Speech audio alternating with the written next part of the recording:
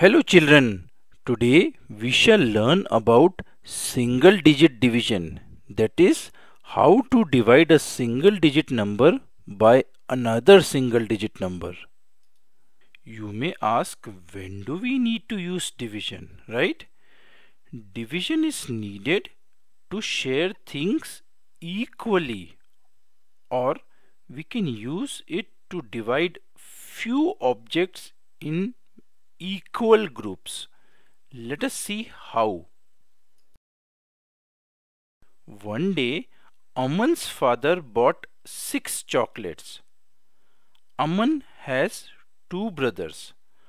So, how Aman's father divided the chocolates amongst his three children? So, Aman's father has to divide six chocolate among three children.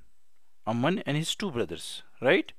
So we have to divide 6 by 3. We do it like this 6. We put a left bracket before 6 and a right bracket symbol after 6. It means we are going to divide 6 and as we have to divide 6 by 3 we put 3 before the left bracket. So we have to divide 6 chocolates equally amongst 3 children. First, let us give one chocolate to each child. 1, 2, 3. So we take 3 chocolates at a time, one for every child. And how many such groups of 3 chocolates can we make out of 6 chocolates? We can use multiplication table of 3 to know this. As we are dividing 6, we shall count until we reach 6. So let's use the multiplication table. 1 threes are 3, 2 threes are 6, so here we stop because we reach 6. So the result is 2 and we write this number 2 after the right bracket.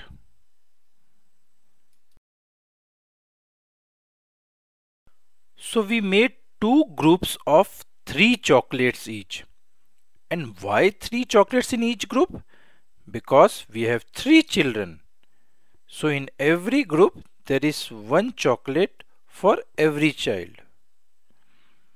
And two groups means how many chocolate a given child will get? Two chocolates. See, Aman got two chocolates. His younger brother got two chocolates. And his youngest brother got two chocolates. One from each group. Now how many chocolates did we use to make equal groups? Yes, we used all the six of them. So nothing was left. So we subtract 6 from the number we were dividing. 6 minus 6 is equal to 0. We can write 6 divided by 3 is equal to 2 in this way. Now let us take another example. Once a farmer had 8 bags of rice which he wanted to divide amongst his two sons. So the problem is we need to divide 8 by 2. So we write 8 then left bracket and then right bracket and then we need to divide in two sons. So we write 2 just before the left bracket. So first we give one bag to every son of the farmer. 1 and 2 so we make group of two bags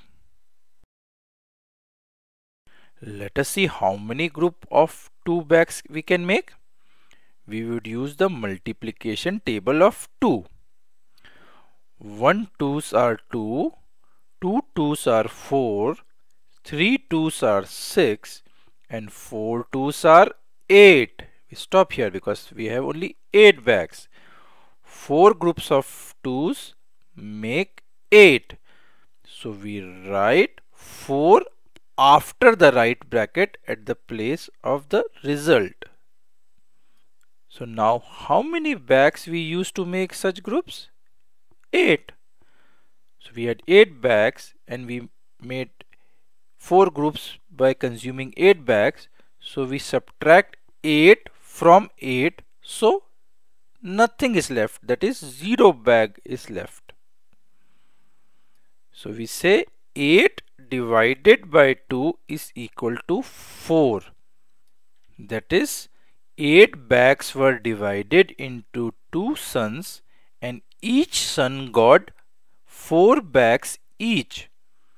Here 8 which gets divided is called dividend and 2 which divides 8 is called divisor.